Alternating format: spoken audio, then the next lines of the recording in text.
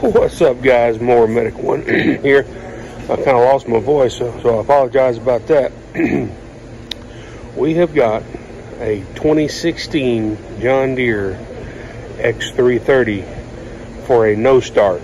Now, the customer states that uh, this tractor hasn't been started since 2018, so 18, so about three years this lawn tractor has been sitting. I replaced the battery. The battery was completely dead. If we turn the key on,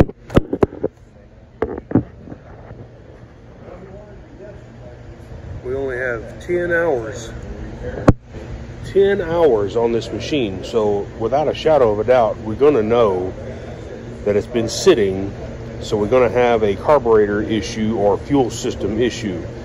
Now this gas is probably as old as the machine with only 10 hours on it, so it's probably definitely going to have to drain the gas tank and get all that old stale fuel out of here. But let's see if we can't just get this thing running without a major overhaul of the fuel system. Now, the first thing I'm going to do is I'm just going to pop this air filter out of here.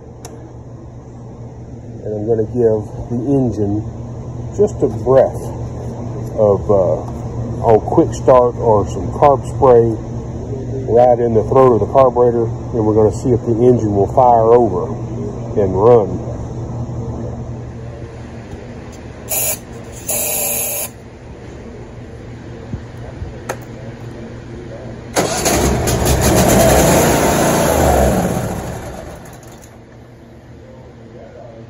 Using that quick start has its advantages and disadvantages. A lot of people are going to say, well, you're going to blow up the motor because it's not supposed to be using starting fluid. It's not going to hurt it. So what you're doing, you're introducing a fuel source right into the carburetor. And if it runs good on what you've sprayed in the carburetor, that's basically you're doing two or three tests at one time. You're testing to make sure the engine has enough compression to run. You're testing and making sure that the ignition system is working. It seems to run on both cylinders, uh, you know, on the carb spray. So we're good to go there. The next step we're gonna see if the fuel pump is actually, you know, delivering fuel to the carburetor.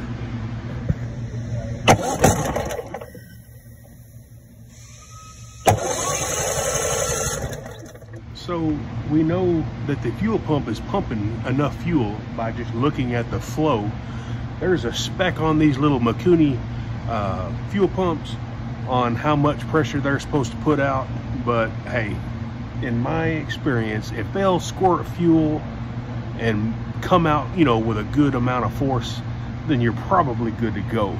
All the way from the gas tank to the uh, fuel pump and the gas that is exiting the fuel pump smells halfway fresh. So they must have dumped a, uh, a fresh tank of gas in this thing before I got it on my bench here. So basically what I'm going to do now, since we know we have gas getting to the carburetor and the carburetor is not flooding out, the next thing I'm going to check is going to be this fuel shutoff solenoid. Now, there is a lot of misconceptions about this little gadget right here. This is a anti-after-fire solenoid. This does not shut off the fuel to the carburetor to prevent the carburetor from flooding. The bowl, the float and needle and seat inside this Nikki carburetor is what shuts the fuel off. There's a little plunger in here and whenever you turn the ignition on it pulls this plunger off of the main jet and allows fuel in for it to run but whenever you turn the key off it sends the plunger over the main jet stops the main jet from getting fuel thus trying to prevent after fire in the muffler whenever you turn it off that's all this does and a lot of times when this thing sits up, guess what? This is the lowest part of the carburetor and the lowest point is where the gum and the uh, contaminants are going to try to form. If this sticks in the uh, you know the rest position whenever the ignition is off and the plunger is against the main jet and it sticks in that position it won't start because it's not allowing fuel to get to the carburetor so let's go ahead and pull this off. It's just a half inch wrench and one connector here. Now keep in mind that they assemble these engines before they ever mount them on the tractor and sometimes this fuel solenoid is positioned in a way that you can't get a you know a regular box end wrench on there. So this is my setup and it works great. So your best friend here is going to just be a little half inch crow's foot and a you know slight extension just get it right there make sure your ratchet is in the reverse position and just give it a twist. They'll be stuck sometimes pretty gum good. So, there we go.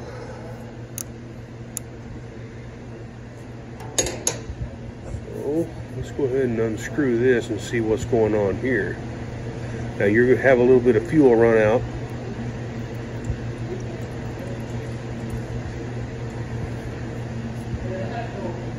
Yes, this fuel solenoid is stuck, corroded, gummed up to the point to where it's not retracting whenever you I can't even push it in it's so gummed up now you can clean these up but you got to be thorough when you do clean them because if you don't get them all the way clean they'll go to working for a little while and then they'll stop working again because the gum breaks free. But the absolute best thing to do, in my opinion, would be just to replace it. I'm going to try to clean this one the best I can, and then we'll see how it turns out. Okay, so I could not get this thing freed up and cleaned up. It's so gummed up. I have a feeling that the uh, the main jet may be in the same shape. We may have to end up taking this carburetor off and give it a cleaning. But what I did, since I'm going to replace this solenoid, all I did was take a pair of side cutters and I cut the pintle off of the end of the solenoid so that will allow gas to flow to the carburetor. So let's go ahead and give it a crank and see how it will run or if it will run. Alrighty, so I've modified the fuel solenoid until I could get me a new one. So let's choke it and give it a crank. I'm gonna choke it with my wrist here.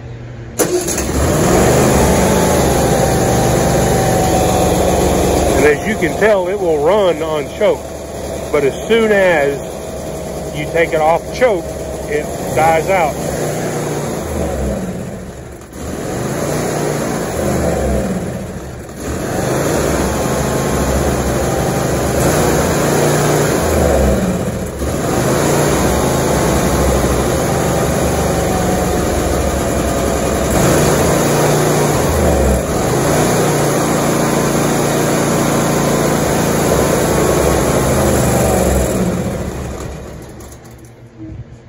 Okay, so everything's good.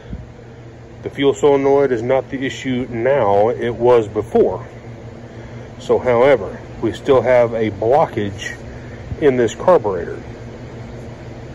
Most likely, the, uh, the main jet is stopped up and the idle jets are stopped up because it will not stay running. So what I'm going to do is I'm going to go ahead and I'm going to pull this fuel solenoid back off so that we can get to the main jet of this carburetor. Let's just see if we can zoom in and take a peek at this jet. As you can tell, it is completely clogged up. We can attempt to clean this jet. You can't clean that you can't clean it from the outside. You really need to take this thing apart. But we're going to attempt to uh, blow this out with compressed air and we're going to uh, blow it out with some carburetor cleaner. Let's just give it a try.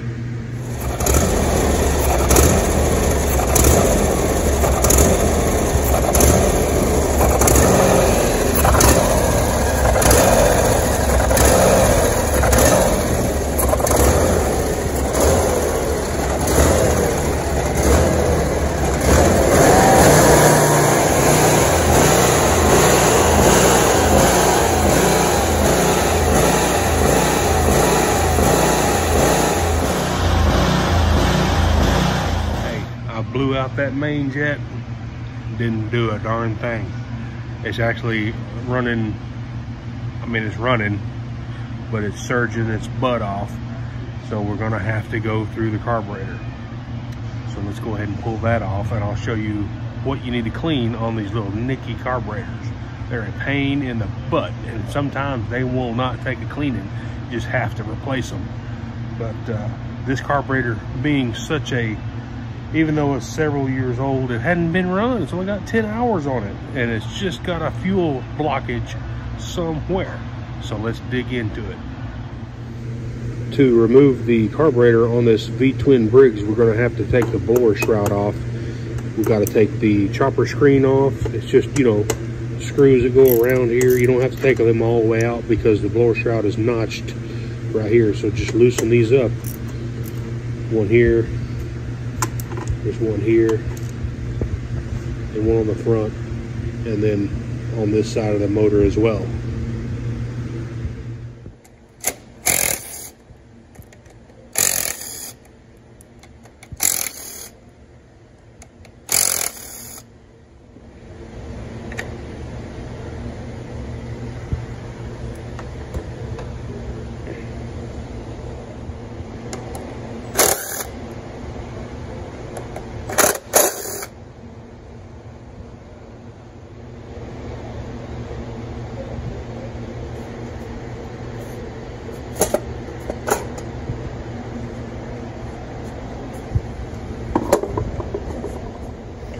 Now to get this air horn off, you have two little hidden screws. Well, not really hidden. I think they're seven millimeter, but if you don't have a seven millimeter, you can take it out with a flat headed screwdriver, one on both sides. Then we should be able to pull the air box off of the carburetor.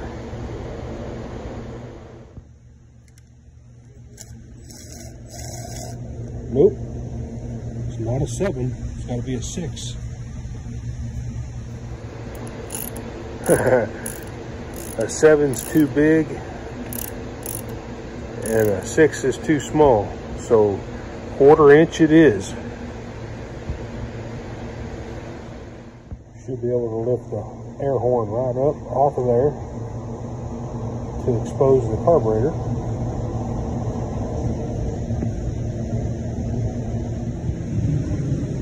As we can tell, this carburetor is held on by a, long bolt that goes through a captured nut here. But to be able to get to this head of this bolt, we're going to have to pull this whole manifold off. So we're going to have to remove it from the cylinder head here and here. We're going to disconnect the choke linkage and the throttle linkage. We're going to disconnect the fuel solenoid once again and then it should be free to come off and then we can work on the carburetor. Once you get the intake manifold taken off, you can invert this carburetor upside down and then we can take the air horn nuts off this way. Just an 11 millimeter or 7 sixteenths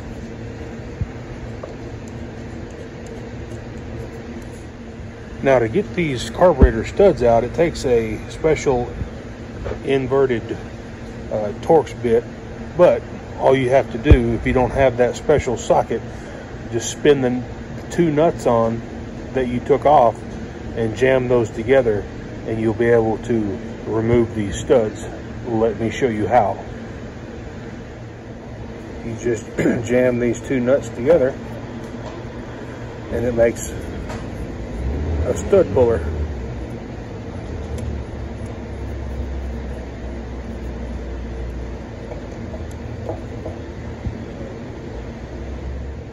Once the carburetor is loose, we can just take it and twist it. Get that choke linkage out of there.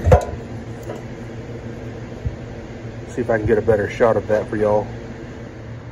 So all you gotta do is just twist it and it comes right out. Now your carburetor is free.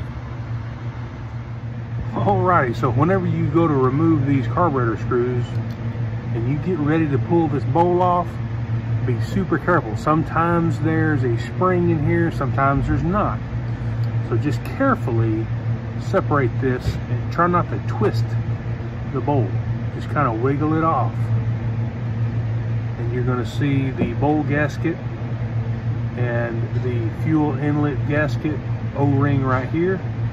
Let's try not to disturb these. If you can leave them in place, that's fine. But if it falls off, that's also fine. I'll show you how to put this thing back together correctly. All right, we're gonna focus on this portion of the carburetor first. Carefully take you a pair of needle nose and we're gonna separate the emulsion tube assembly. Pull it out and there is your bowl.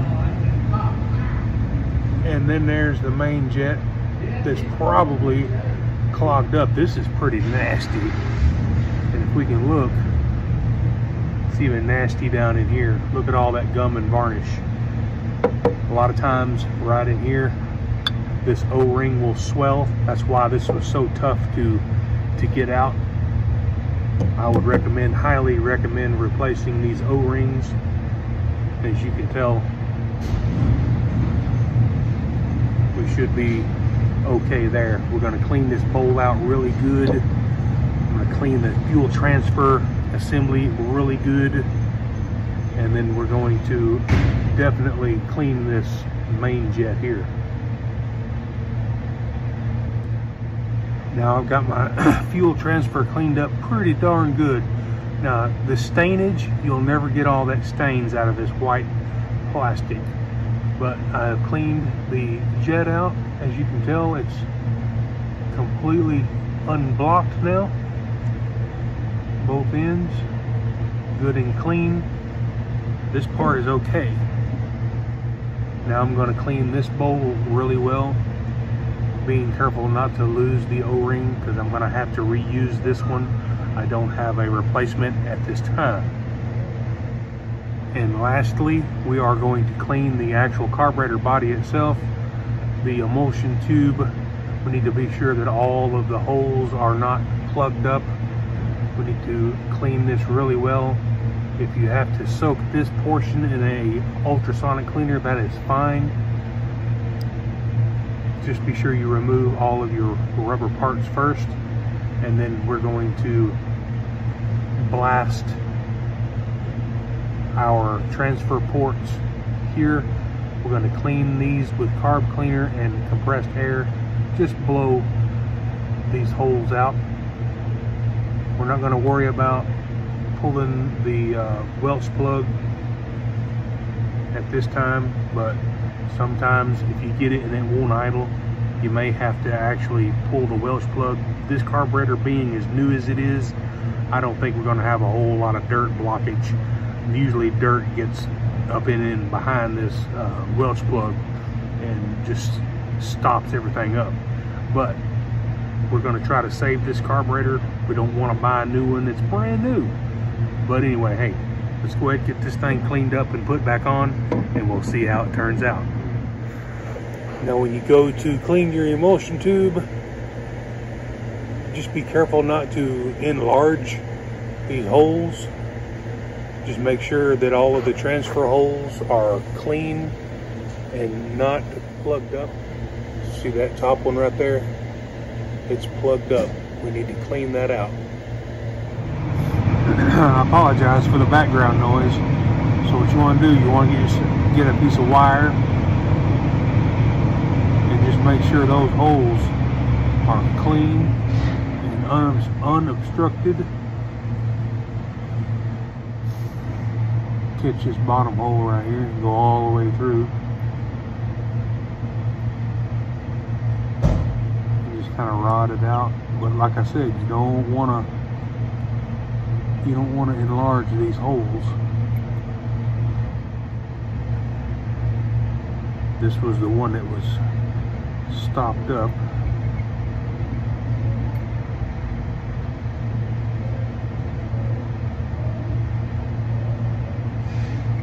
Alright, all our holes are definitely clean.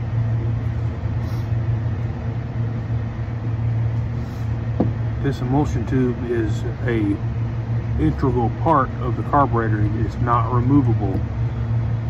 So that's the only drawback to these little Nikki carburetors is a lot of these parts you cannot remove to clean.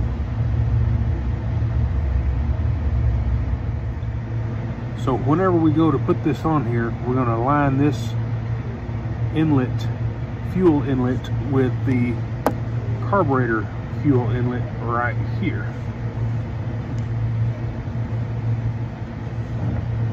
Just get everything kind of lined up. Slide it down.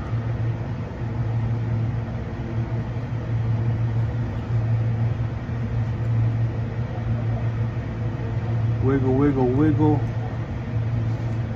until it seats.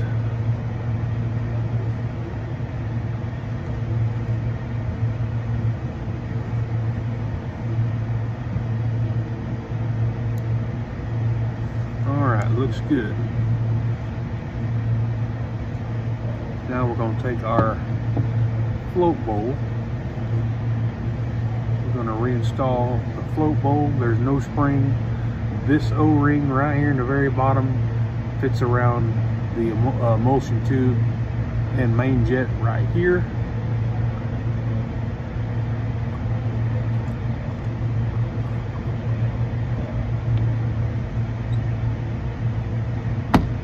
Slide it down and then we can attach our screws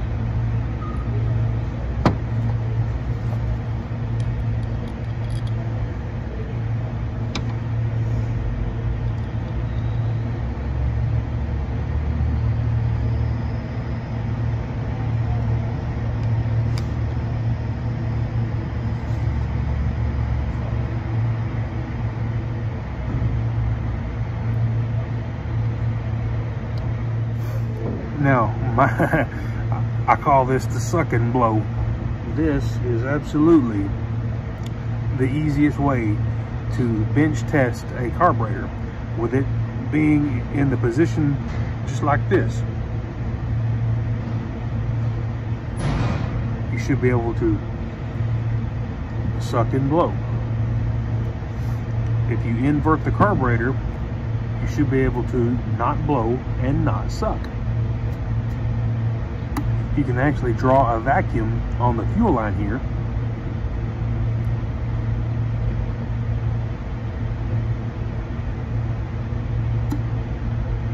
And that means that the needle in the seat in the carburetor is working properly.